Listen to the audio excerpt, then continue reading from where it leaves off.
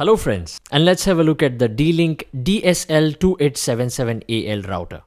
This router supports 802.11 AC standard, which delivers blazing fast speed with increased range and reliability. It uses the dual band technology which can render speeds up to 750 Mbps. But of course you need the wireless AC dual card to achieve those kind of speeds. You can have a look at our AC dual cards on the D-Link website. The router ships with 3 years warranty, 5 dBi long range antenna and 4000 volts lightning protection. So let's look at the back of the box. On the left side we find the port information and information regarding the device. On the right side we see a comparison chart regarding the AC technology. So let's open the box and have a look at the contents. Once we open the box, we will find the installation CD, the quick installation guide, and the warranty information. So there's our router. This router has three antennas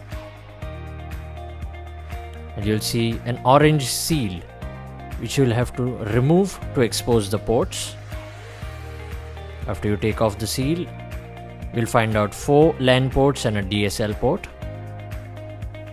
That's the router.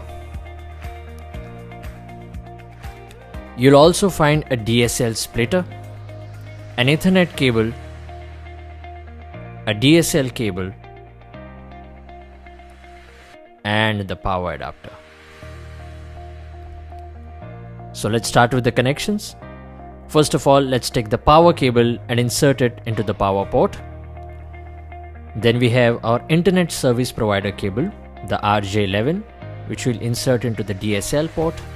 And then we have our ethernet cable, which we'll insert into any of the LAN ports. And the other end of the ethernet cable goes into the ethernet port on your computer. Let's power the device on so once you power your device on, you'll see the LEDs being lit, especially the power LED. After that comes the DSL LED, which is currently blinking. It usually takes a while to synchronize with your internet service provider. Once you are connected to the internet, the internet LED will be lit. The blinking LAN LED indicates that your Ethernet cable is connected to that specific LAN port.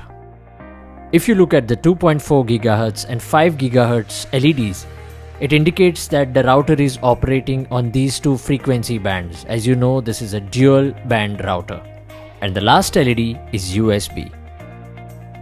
So let's open up the web browser and enter our router's IP address. That's 192.168.1.1. This will lead us to the router's settings so when you're prompted with this page, you have to enter your username as well as your password as admin. Those are the default settings for the device and then click login. So you'll be prompted with a quick summary of the steps involved in the setup process. Click on next. This is when you'll get the first step where you have to set the date and time. So you can get your device automatically update its time by connecting it to a time server I'll enter my time server's address. You can either use the same address or use another time server of your own choosing. In the next section, you can select your time zone and enable or disable daylight saving. After you're done, click next. So on this page, you will be entering your internet settings. We start with selecting our country. Then select your internet service provider from the drop down menu. Once you select your provider, your protocol will be automatically set. As for me, it is PPPoE and once I'm done with that I'll enter the username and password that is provided to me by my service provider. So if you're not sure about any of these details you can get in touch with your service provider and ask for them. So I'll enter my password again as provided to me by my service provider. I confirm the password and click on next. So this page allows you to set up your 2.4 GHz wireless network. You can set up a network name of your own liking or you can keep it the same. You can also select a security type which will also let you set up a password. So I'm changing the name to my liking and setting up the security type to WPA2 since it is supposed to be one of the strongest security types.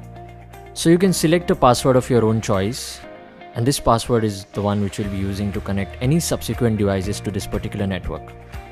So click on next and you will see a similar configuration page. The only difference is here you configure your 5 GHz wireless network.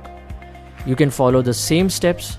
You can change your username, set up a new password, or you can even simply disable the 5 GHz network by unchecking this box and then click on next. So on this page you will be presented with a summary of all the settings that you have made till now. You can just go through them once and click finish. So once you're done, uh, you'll be guided to this main page where you can click the status tab and check out the status of your connection. And as you can see, you are connected to a public IP address, which indicates that you're connected to the internet. But just to be sure, let's go to the D-Link website and check whether our internet connection is working.